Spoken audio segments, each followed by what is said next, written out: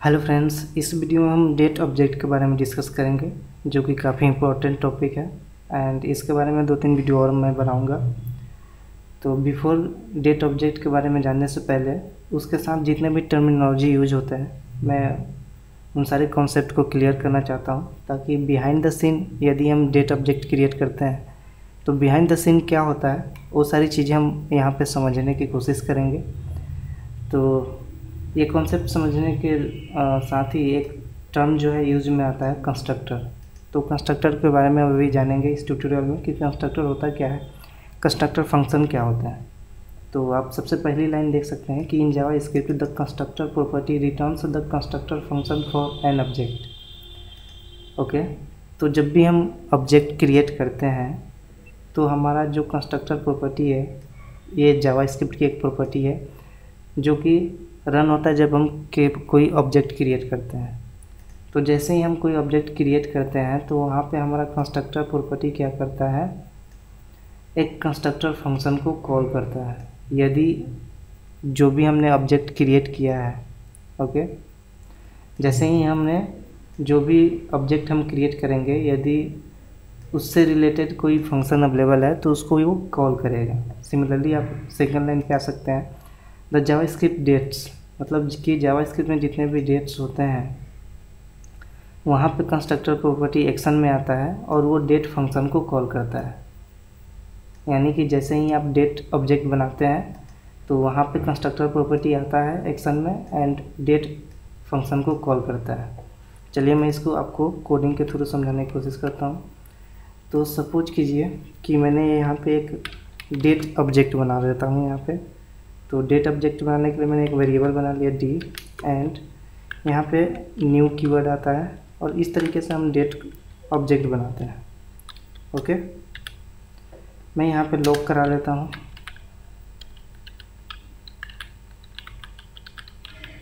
D को मैं यहाँ पे लॉक करा लेता हूँ। तो आप देखेंगे कि अभी हमने चेक कर लेते हैं कि ये क्या रिटर्न करता है। ओके इंस्पेक्ट एलिमेंट कर लेते हैं यहाँ पे। एंड यहाँ से मैं जाऊँगा।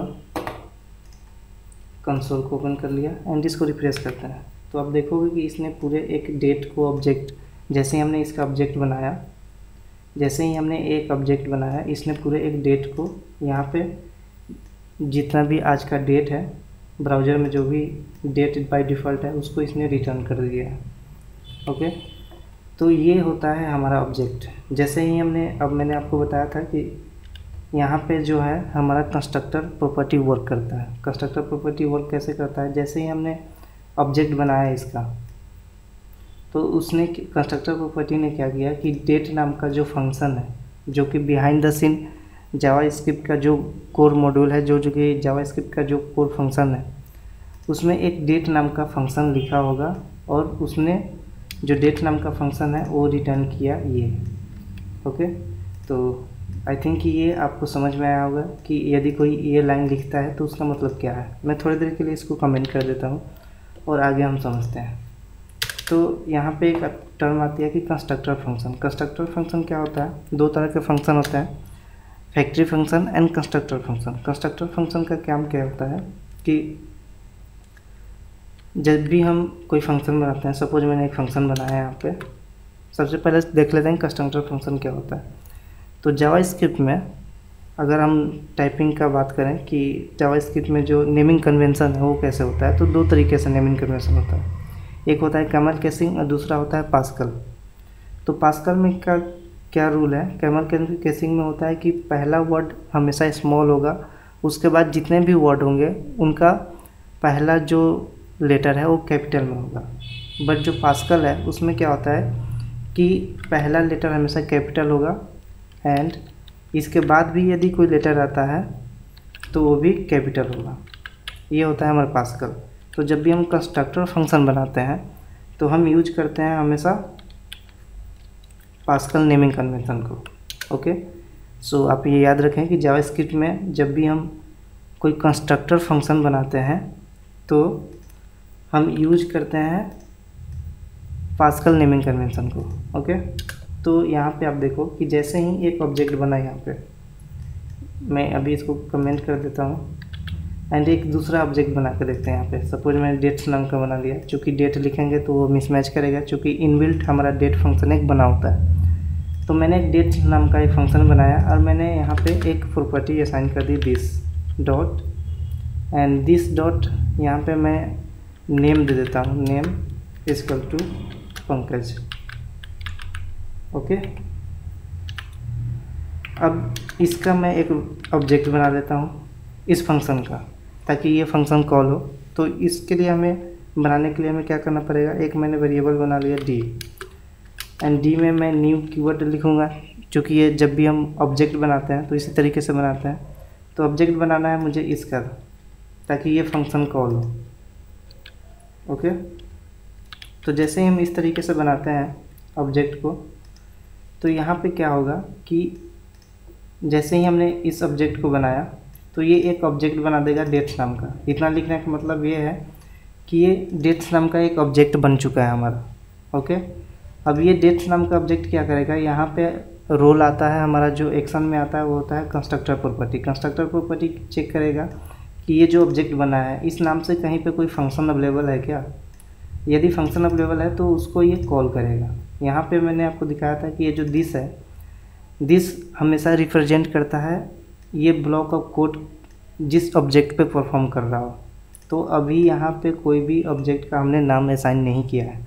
तो यहाँ पे एक एम्प्टी ऑब्जेक्ट है, जिसकी प्रॉपर्टी है नेम एंड उसका वैल्यू है पंकज।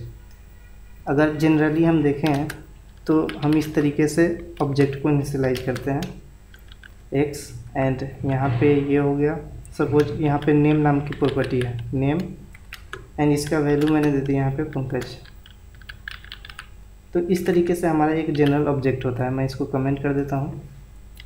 एंड यहाँ पे मैं एक्स को कंसोल कर लेते हैं। कंसोल डॉट लॉग एंड यहाँ पे हम एक्स को कंसोल कर लेते हैं। ओके सेव किया। एंड यहाँ पे कंट्रोल एफ़ करेंगे। तो आप देखोगे कि एक ऑब्जेक्ट को रिटर्न किया है और ऑब्जेक्ट में एक प्रॉपर्टी है नेम नाम की एंड नेम जो है, पंकज है ओके तो सिमिलरली अब क्या होगा? ये ऐसा नहीं है कि यदि अब मुझे इसको गेट करना है तो ऐसा नहीं है कि हम यहाँ से गेट भी कर सकते हैं, इसकी हम वैल्यू भी चेंज कर सकते हैं।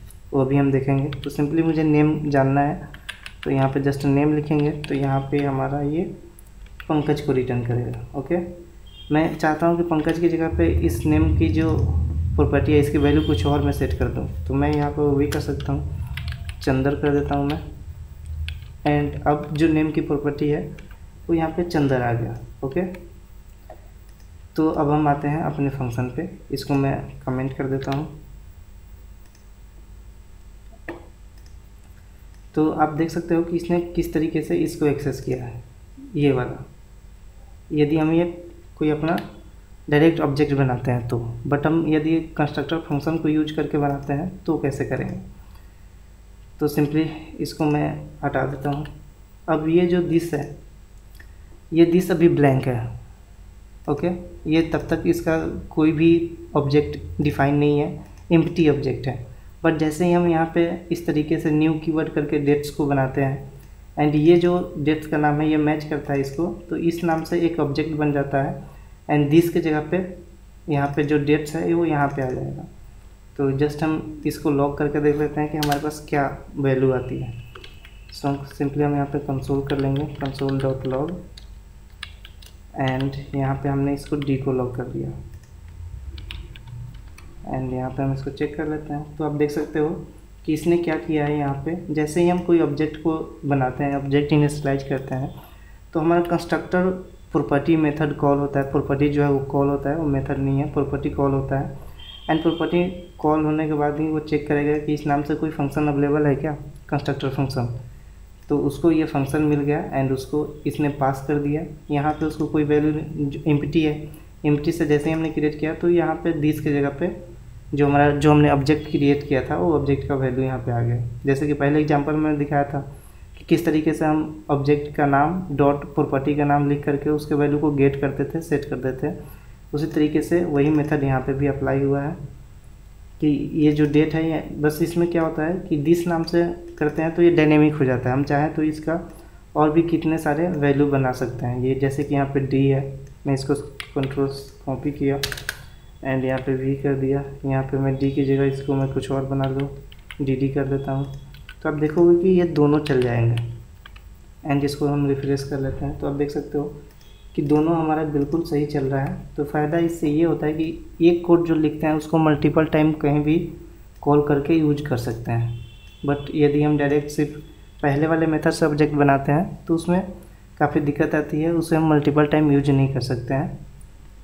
ओके तो इस तरीके से हम, हमारा जो डेट फ़ंक्शन है यूज़ होता है। तो मेन जो डेट हमारा था, ये अगर यदि हम इस तरीके से किसी चीज़ को कॉल करते हैं तो बिहाइंड द सीन क्या होता होगा कि एक डेटा नाम का फ़ंक्शन होगा जावा स्क्रिप्ट में हमारे पास एंड इस तरीके से उसकी प्रॉपर्टी होगी, जो कि प्रॉपर्टी वगैरह अभी हम बाद में वाले ट्यूटोरियल में देखेंगे कि हमें सिर्फ़ डेट ऑब्जेक्ट से किस तरीके से हम मिनट को गेट करते हैं सेकेंड को गेट करते हैं, और किस तरीके से सेट भी करते हैं। जैसे कि मैंने आपको बताया था कि ऑब्जेक्ट में हम गेट भी करते हैं एंड सेट भी कर सकते हैं। चंदर का एग्ज़ाम्पल दे करके तो बिहाइंड द सीन क्या होता है? ये ऑब्जेक्ट क्रिएट हो गया हमारा। इसको जस्ट लॉक करेंगे तो हमारे पास एक ऑब्जेक्ट आ जाएगा।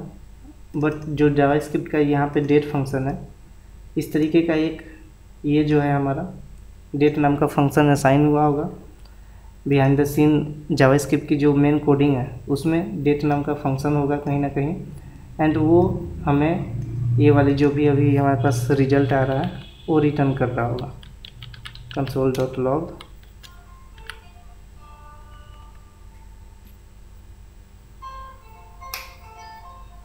ओके तो कंसोल डॉट लॉग डी को हम करेंगे यहाँ पे एंड चेक कर लेते हैं। इसको हमने रिफ्रेश कर लिया। ओके हमने क्या किया? ओके तो हमने यहाँ पे इसको डिफ़ाइन किया, इसलिए इसी को ले रहा है। इसको हम हटा देते हैं। एंड यहाँ पे हम इसको चेक कर लेते हैं। तो आप देख सकते हो कि ये जो बाय डिफ़ॉल्ट हमारा डेट ऑब्जेक्ट होता है जो कि बिहाइंड द सीन डिफ़ाइन होता है। जैसे कि अभी आपने देखा था कि मैंने इसको डिफ़ाइन किया था डेट को यहाँ पे। तो जावा स्क्रिप्ट की प्रायोरिटी ये होती है कि ये हमेशा जो लोकल वेरिएबल है, उसको एक स्कोप के हवाले से देखें। तो जो इसको स्कोप में मिल रहा था, ये वाला डेट फ़ंक्शन मिल रहा था पहले तो पहले इसको इसने शो करा दिया। यदि ये नहीं है तो जावा स्क्रिप्ट के इनबिल्ट में जो date object date function define हुआ होगा, वहाँ से डेटा को फेच कर रहा है और ये यहाँ पे शो हो रहा है। ओके तो आई होप कि ये जो डेट कंस्ट्रक्टर है, जब भी हम डेट को ऑब्जेक्ट डेट का ऑब्जेक्ट बनाते हैं तो ऑब्जेक्ट बनाने के बाद में उसके बिहाइंड द सीन क्या वर्किंग है, क्या प्रोसेस है, वो सारी चीज़ें आपको शायद समझ में आया होगा। यदि समझ में आया है तो लाइक ठोकिए एंड चैनल को सब्सक्राइब कीजिए। मिलते हैं नेक्स्ट ट्यूटोरियल में। थैंक यू दोस्तों।